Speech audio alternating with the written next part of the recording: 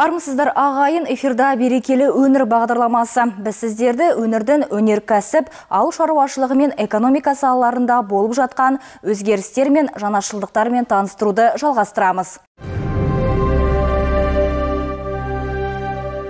Көпке танымал Урал мотоциклдері Петропавлда құрастырылып жатыр. Өткен жылы ресейлік Урал Motorcycles компаниясы өз өндірісін облыс орталығына көшірген. Жарты жыл ішінде олар 600-ге жуық мотоциклді құрастырып шыққан. Биыл санын 1 мыңға жеткізбек. Урал мотоциклдердің 80 жылдық тарихы бар. Кезінде көліктің бұл түріне қол жеткізу арман болды. Қазірде техникаға сұраныс жоғары. Петропавлда құрастырылған көліктер экспортқа жөнелтіліп жатыр. Оған негізінен 25 пен 60 жас аралығындағы байкерлер қызығады. Сондай-ақ тіркемесі болғандықтан саяхаттауды жақсы көретіндер алады екен.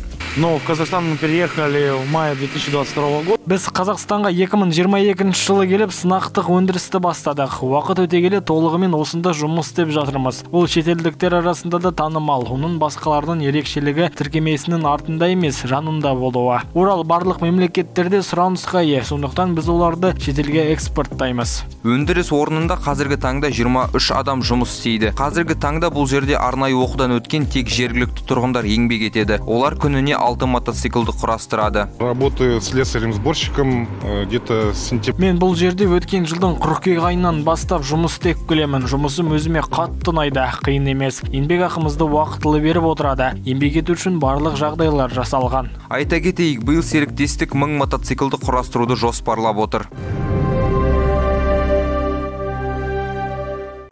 Қазақстан облысының әкімі Айдарбек Сапаров Сенатта өткен парламенттік тыңдауға қатысып, өнірдің әлеуметтік экономикалық дамуы мен 2023 жылға арналған жоспарлары туралы айтты. Аймақ басшысы солтүстік өнірдің республиканы азық түлікпен қамтамасыз етудегі жоғары әлеуетін және ауыл шаруашылығы өндірісінде жетекші орында екенін атап өтті.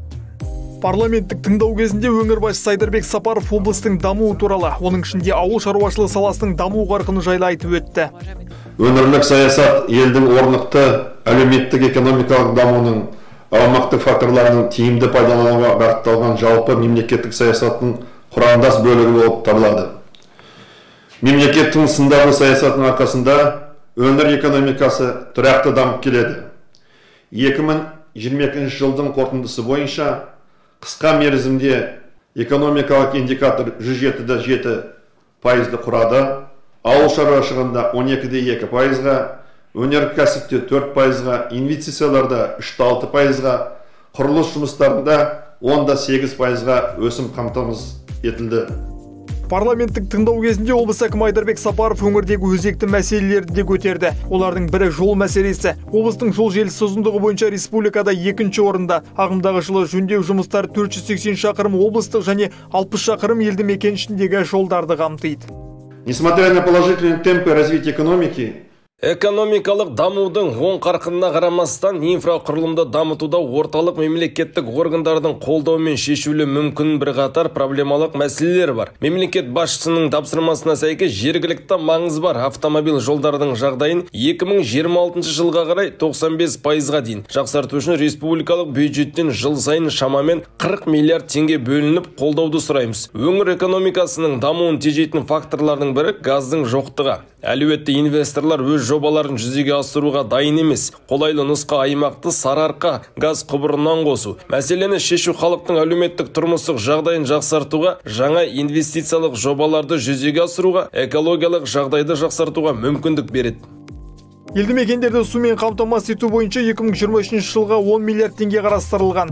Сонымен қатар өңір басшысы топтық су құбырларын жеделдетіп іске қосу мәселесінде аса мән берді.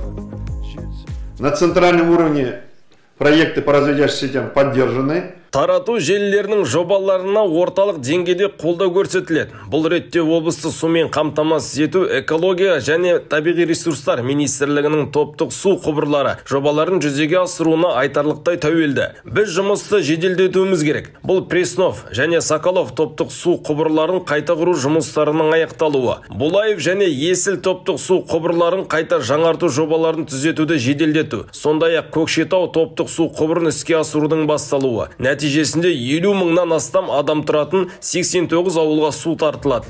Аймақ басшысы медициналық қызмет көрсету деңгейін арттыру мәселесіне де тоқталды. Ол үшін петропавл қаласында көпсалалы облыстық аурухана құрылысын жалғастыру қажет екені айтылды. С 22 года строительство приостановлено. Құрылыс 2022 жылдан бері тоқтап тұр. Жеке серіктестік 10 миллиард теңгеге құрылыс монтаждау жұмыстарын жүргізіп, ғимаратты 54 пайызға көтерді. Қазақстан Республикасы денсаулық сақтау министрлігі жеке серіктестікпен бірлесіп жобалық құжаттаманы рәсімдеуді жеделдетіп, құрылыс жұмыстарын бастауға өтініш білдіреміз. Әлеуметтік маңызы бар азық түліктің бағасы көтерілмеуі тиіс. Тұрақтандыру қорындағы өнім мөлшері әр апта қалалық әкімдіктің және құзырлы басқарма өкілдерінің назарында. Солтүстік әлеуметтік кәсіпкерлік корпорациясының сауда орындарында әлеуметтік маңызы бар 19 тауардың 15-і сатылады. Биыл тұрақтандыру қорына өнімді арзан бағамен сатып алуға бюджеттен 3,5 миллиард теңге бөлінген.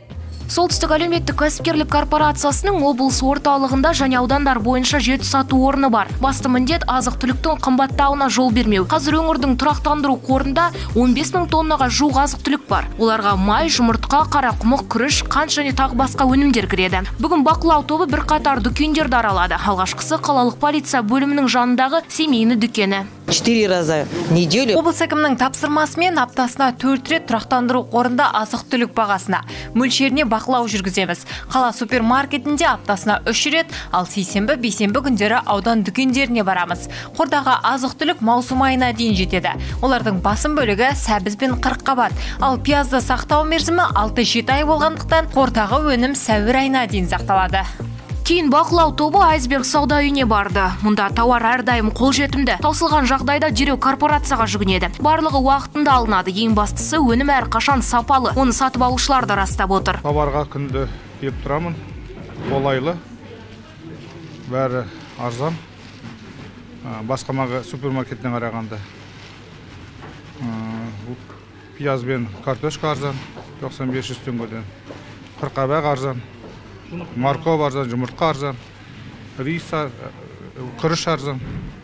Вермишелдер бәрі тұрақты бағалары оңды жиі келіп тұрамын 250 теңгеге ұн 105 теңгеге пияз 470 теңгеге қант 350 теңгеге 10 жұмыртқа алуға болады. Тұрақтандыру қорының өнімдері әдеттегідей 25-30 пайызға арзан дейді мамандар. Әр апта сайын олар тауардың бағасы мен қолжетімділігіне осындай бақылау жұмыстарын жүргізеді. Өткен аптада бақылау тобы төрт сауда орнын тексерді. Осымен бағдарламамыздың уақыты тәмамдалды. Келесі кездескенше аман сау болыңыздар.